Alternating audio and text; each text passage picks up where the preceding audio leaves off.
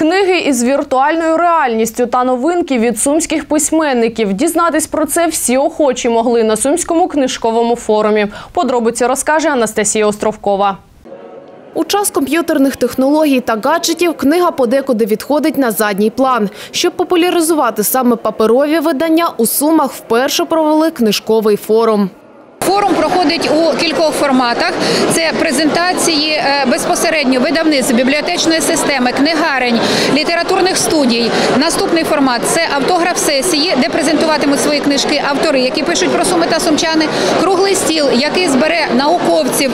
Різні за жанром, форматом та тематикою. Це доробки сумських авторів та видавництв. Літератори говорять, все більше пишуть рідною мовою.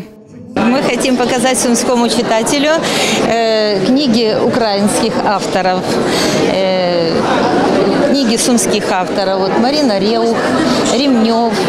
Э, очень интересная э, книга будет пре- презентовать автор э, Сумин городок. Это новое, скажем так, новое направление в книгах. Щоб створити сучасний та якісний книжковий продукт, все частіше діють командою. Долучитись можуть навіть діти. Малюнки цієї дітвори стали ілюстраціями до одного із віршованих видань.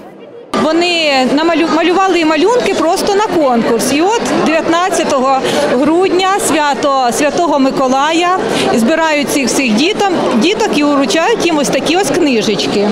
Дивували читачів і живими книгами. За допомогою мобільного додатку та планшету картинки на сторінках починали рухатись та навіть звучати. Ось, наприклад, як в нас сахар готується.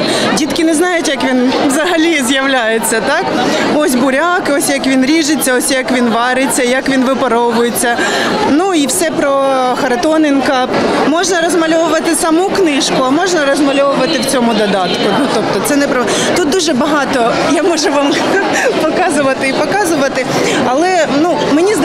Це так. Ми спонукаємо дітей все ж таки читати, тому що цей додаток він не працює без книжки.